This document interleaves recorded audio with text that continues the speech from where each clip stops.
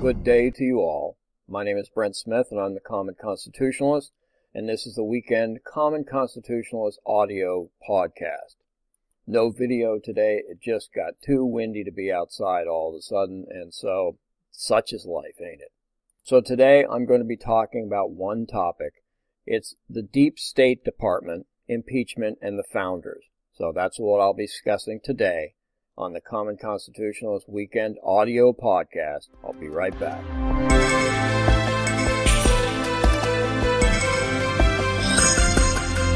You are listening to the Common Constitutionalist, broadcasting from an undisclosed location, free from the prying eyes of establishment black helicopters.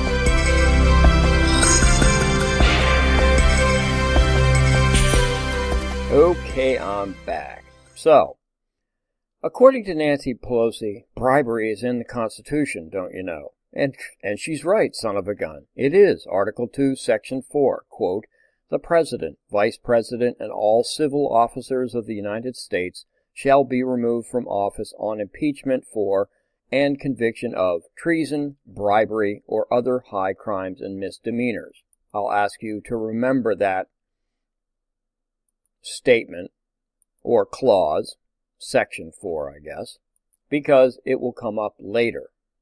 But as Mark Levin says, and states rather correctly, as he usually does, three people that I trust implicitly about the Constitution and what's in it and what's meant by it Larry Arnn, the president of Hillsdale College, Mike Lee, Senator Mike Lee, and of course, the great one, Mark Levin. Those are the two guys, or three guys that I trust implicitly regarding the Constitution.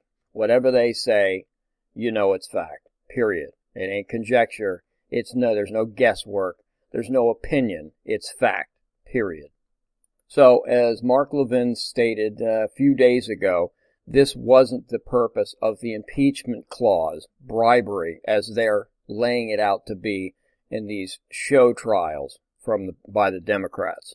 And Mark stated that uh, it was James Madison who made notations specifically about those concerns. And the notations were made during the 18, uh, 1787 Constitutional Convention when they were discussing an impeachment clause. As he correctly stated, it was meant for charges of bribery of a president by foreign powers or others. In other words, bribery of the president, not by the president. As Virginia delegate to the Constitutional Convention, Edmund Randolph stated, by taking payments from a foreign power. And uh, we'll, like I said, we'll discuss more on that later. But then some might say, disingenuously as it is, well, he is taking bribery payments in some form or another. What about the foreign dignitaries that, that stay at his hotels? Huh? Huh? What about that? Huh? And to that I'll say, what are you? Some kind of a moron? Just look at President Trump's situation. He's a multi billionaire. He's the only president in history, as far as I know, that doesn't take a salary for his position. He doesn't take a dime for being president. He does this out of love of country only. And whatever you think of Trump, there is no denying his love of America. No denying that of all. And like I said, he's the only one, as far as I know, in the history of the presidency who voluntarily, voluntarily declined the salary. So, to all you liberals who say he's taking payments, so to speak, or bribes, so to speak, or whatever it happens to be, so to speak, by dignitaries staying at his hotels, and that he's arranging it to get money out of them or some stupid thing, go ahead and just suck on that, would you? Now, on to the clown show that they're calling the impeachment hearings, or whatever they're calling them these days. I've said on a number of occasions I'm not a huge fan of tweeting Trump, as it were. That's just not my style. I don't know. I mean, I just don't happen to, I don't happen to like it. I just think it's, it's more abrasive than it needs to be. And I don't, I just, I'm, I'm just not a big fan of tweeting anyway.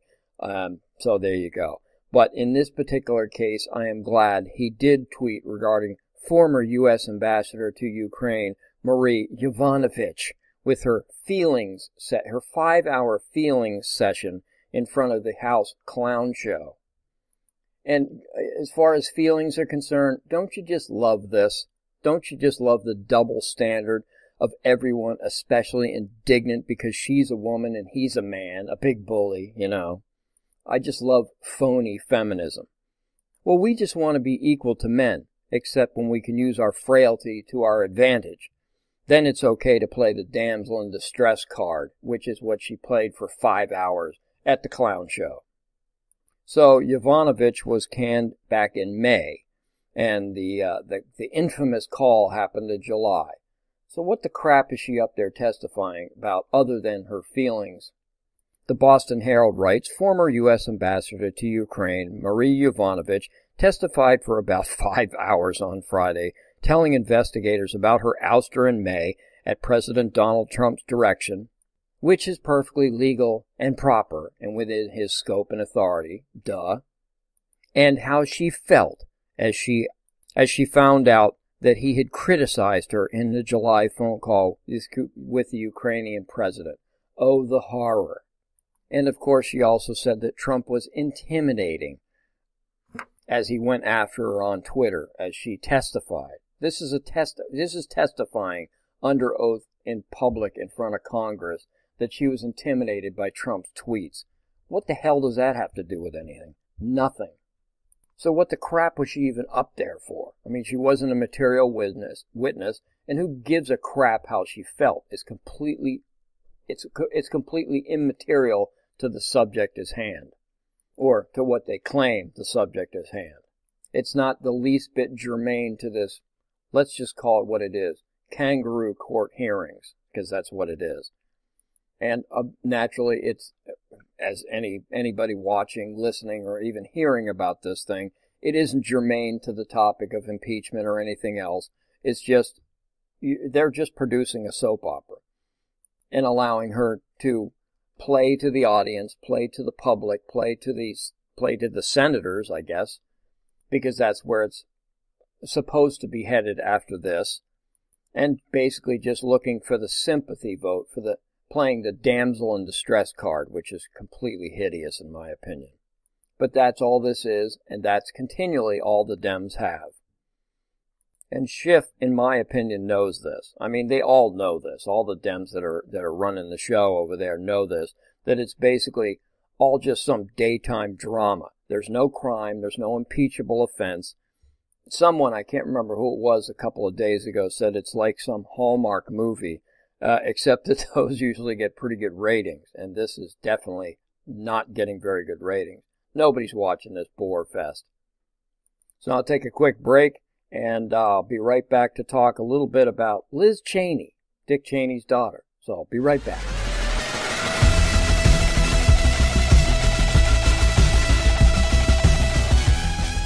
You're listening to The Common Constitutionalist. Let the truth be known.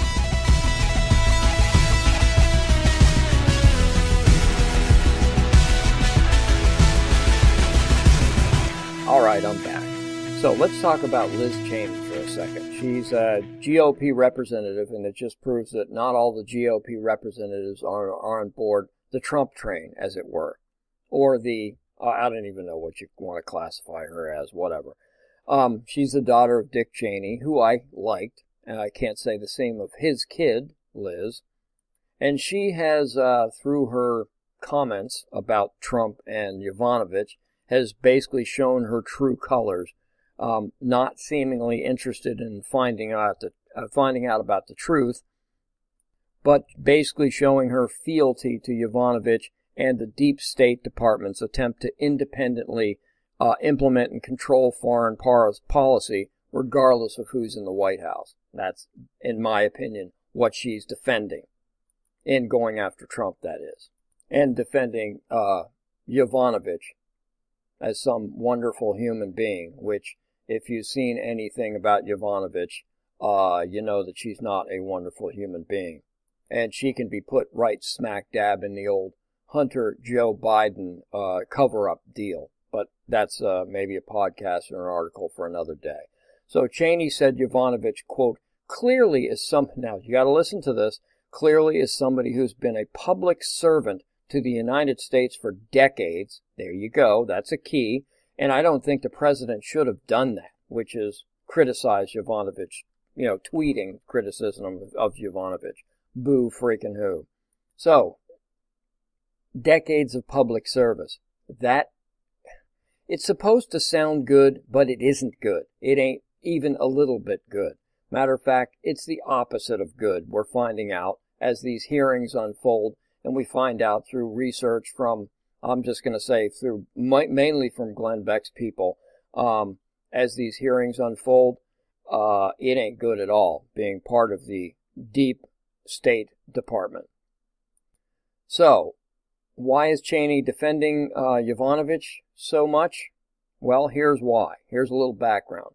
PBS wrote that Cheney, Liz Cheney that is, served in senior state, listen, senior State Department roles when her father Dick Cheney was vice president, and she has been more supportive of career diplomats than have so far testified uh, than some other Republicans. And gee, I wonder why that is. So you may have noticed that I've recently coined the phrase deep state department because that's what the State Department is. It's the deep state. It's it's the it's the dictionary definition of deep state in my opinion. More than any other, the State Department it defines or eh, it epitomizes the phrase deep state or shadow government if you want to call it that. The State Department, the deep State Department doesn't care who the people ele- who the people elect as president who they choose to run the executive branch, they don't care a whit about who's in who's in office. They will do things their way as as we've seen, as we've demonstrated, or as they have demonstrated that they're going to do things their way and we're just seeing what happens to anyone who tries to stop them or do things any way but how they dictate. Which is exactly what Trump was doing. He was running foreign policy the way he, he has full scope and authority to run foreign policy any way he likes, and they don't like that a bit. And I would liken the deep state department as like the mob, the mafia. And once you've joined the club, like the mob, you're made. You're a made man or a made woman. And once you're in, you're always part of it and you have to defend it from all comers. So, I mean, and that this is the reason why it's, this is, this is such a scam. Why do you think that I believe all of the witnesses so far have either been from or involved in the State Department. Gee, wonder why that is. Uh, Glenn Beck calls the, uh, the, calls the Deep State Department Hydra, and if you've seen his special on Hydra, you'll know exactly why.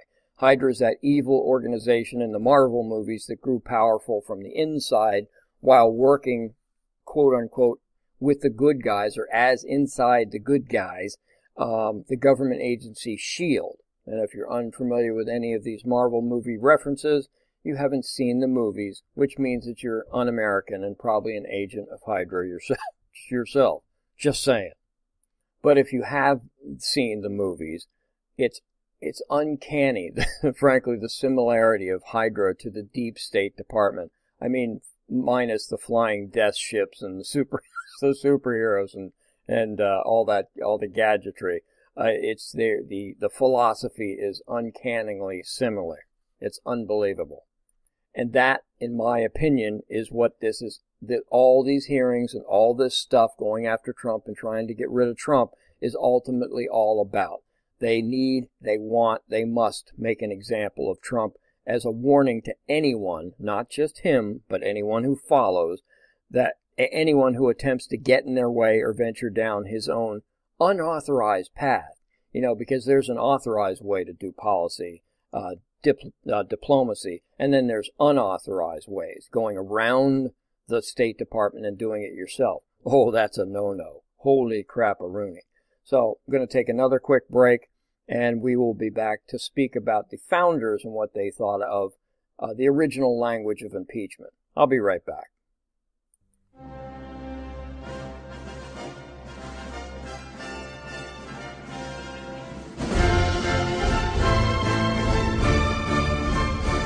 You're listening to The Common Constitutionalist. All right, I'm back. Let the truth be known. last segment.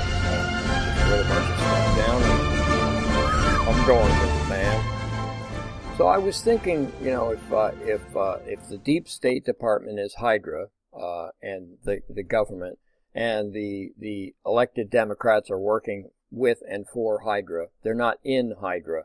Uh, they're not in within the deep state department. They're just you know elected officials, like loyal ones, for want of a better term, and they go out and they do the bidding for Hydra. So I'm thinking maybe Trump is is what Nick Fury or something from from the Marvel movies. I don't know, something like that. He's in charge of everything, whatever. I I don't know. So anyway, the original language of impeachment was adopted on June 2nd, 1787 from the Virginia plan written by James Madison. There were competing plans, the Virginia plan and the New Jersey plan, and the Virginia plan won the day. So it was fellow Virginian and anti-federalist, one of my favorite founders, George Mason, who first argued for the government to have some form of check on the executive's or the president's power. It was also Mason who suggested that bribery and treason was not enough, that maladministration, quote unquote, should also be grounds for impeachment.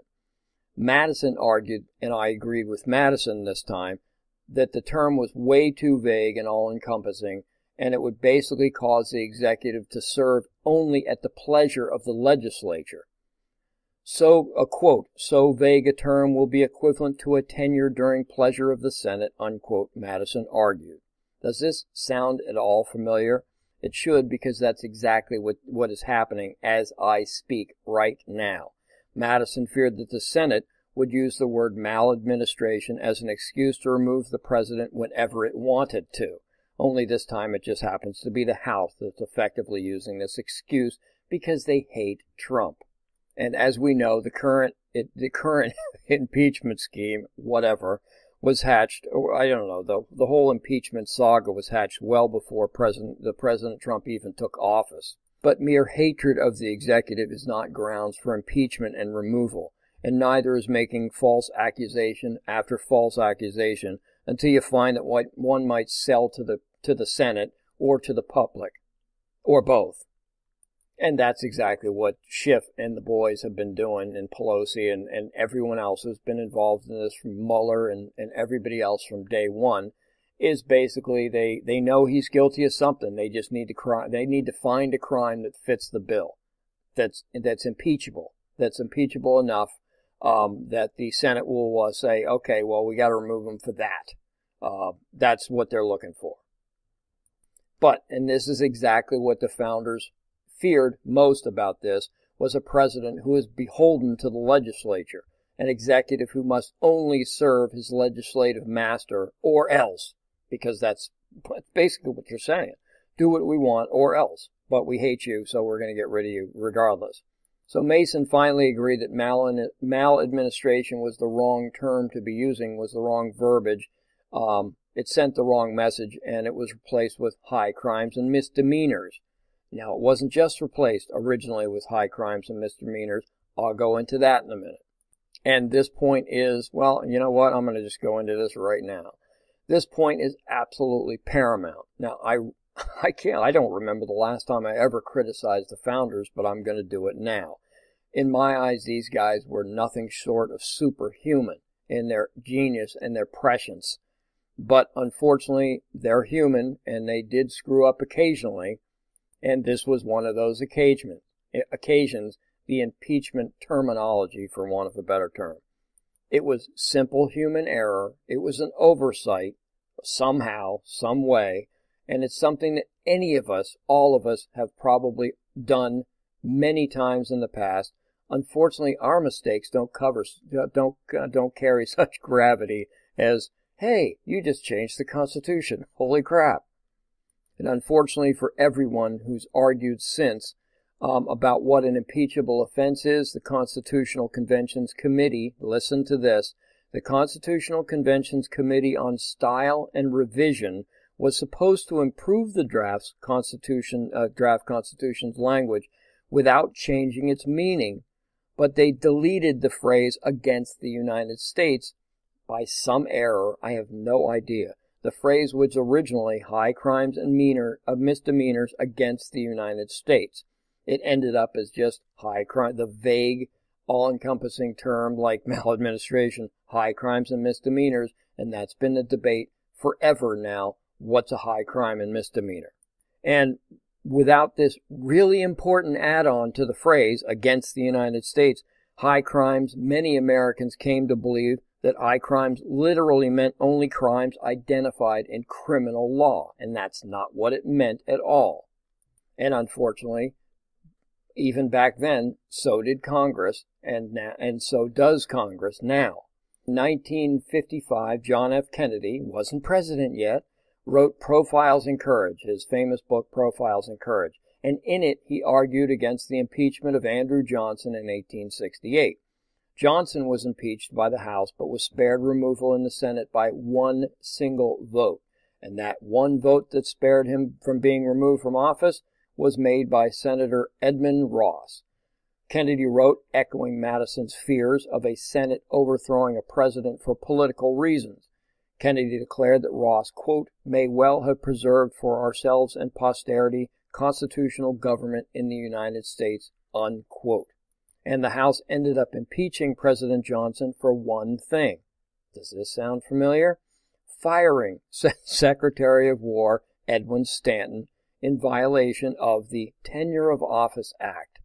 Many thought that act was unconstitutional, and sure enough, in 1926, Supreme Court Chief Justice wrote, he, he, was also Chief Justice William Howard Taft, who was also our 27th president, wrote that the power to remove appointed officers in, is vested in the president alone. Let me repeat that. The power to remove appointed officers in the executive branch is vested in the president alone. According to Taft, to deny the president the power would not allow him to, quote, discharge his own constitutional duty of seeing that the laws be faithfully executed, unquote. So, bottom line, Trump as president, as head of the entire executive branch, has the full scope and authority to conduct foreign policy however he sees fit, right up to, like I said before, signing treaties which takes the advice and consent of the Senate. There are no such thing as official and unofficial channels of negotiation for the president. That's just bullcrap and the deep State Department flexing its muscles. Basically trying to remind the president and everyone else that, hey, we're in charge of foreign policy, not you, Mr. President, which is completely ass backwards. He can fire any subordinate to him in the executive branch without any reason at all. You're fired because I don't like your haircut or your glasses or whatever. It may sound ridiculous or petty, but it's his prerogative and no one else's freaking business. It doesn't matter why he fired somebody like Marie Yovanovitch. And he gets to he gets to conduct negotiation with other nations however he sees fit, and he can involve or not involve anyone he likes, like not involving the State Department and involving Rudy Giuliani. If he so chooses, that's the way it is. Too bad for the deep State Department or anyone else who doesn't like it. You want to bitch about it, run against him, and unseat him. Otherwise, shut up. So I'm starting to think at this point I was everybody's dreading this impeachment nonsense. It's taken away from everything else. And frankly, that's fine by me. If the Congress isn't doing anything, then they're not picking our pockets. So there you go. Or they're not picking our pockets any further than they already are. How's that? But I think that I'm, I'm starting to believe, at least I'm hoping, that these, this impeachment investigation thing is actually kind of a, a blessing in disguise at this point. I mean, just look at the confluence or convergence of events that took place for us just to get to this point. I think there's ultimately a reason why this is happening, and it may be providential, in my uh, humble opinion. Let's just think about this, and most people have thought about this, or at least most people, most geeks like me have thought about this stuff. Had none of this occurred, we'd be blind, we'd be completely ignorant of what has been going on in our government, government for who knows how long, frankly, that there really has been one or more agencies filled with unelected and completely anonymous bureaucrats that actually run everything from the top down. That it doesn't seem to matter who we elect or who we don't elect. And it's beginning to be very evident that this shadow government, this deep state, does in fact exist, and it is in fact running the show, or yeah, yeah, yeah, let's just put it that way. It's running the show. And the executive uh, branch and the legislative branches are all a bunch of, it seems like just a bunch of figureheads. Up until Trump's time, that is. It's scary, to me, it's scary as crap, and the deep state is proving that if you join the government, you gotta pick a side now, okay? You're either for or you're against Hydra. That's the bottom line, alright? Just like in the movie, you're either for them or against them. There you go. And to, to that, unfortunately, there's a lot of people, a lot of ignorant people who haven't even who haven't done any study, haven't done any research, haven't watched, haven't read, haven't done anything about this stuff to find out the truth about this crap. There are a lot of people that think I and a lot of other people like me sound like a brain bunch of brain dead conspiracy theory alien hunters or whatever the crap. But this crap is real. And if and frankly, you think about it, if not for the arrogance of these deep state a-holes and their Democrat loyal ones, we never would have found out just how bad this place, that just how bad it is and who's actually running the show in Washington. So for that, I think that all of this is happening for a reason, and I pray to God that it's for the purpose of flushing these people out and shutting them down and waking up the public so it can be more aware as it as this inevitably, even if it's if it's burned down to some extent, it's going to try to reform. Evil never goes away, as we know. It just kind of goes underground, recoups and reforms as, and reforms as something else, like you know, uh, green is the new red type of thing. Same deal. The communists and socialists, they never went away. Okay, after we defeated communism all over the world or whatever the crap. These, these people never went away. Americans, Europeans, whatever. These people never went away. They just went to hiding and then they glommed onto to, to, to the green agenda, which is actually the red agenda when you think about the control function of it. So that's all I've got today. Uh, again, sorry that this wasn't a video. Just couldn't pull it off outside. It got uh, a little chilly, but that's okay. But it got really windy and it just, it wasn't going to work no matter where I went. So audio is it. So that's all I've got. My name is Brent Smith. I'm the Common Constitutionalist. Thank you so much for listening. And uh, with uh, God willing and the uh, the, creek, the creek don't rise, well, the creek's going to freeze over before it rises up here in New England. Uh, we'll uh, we'll talk to you or see you next week. See you.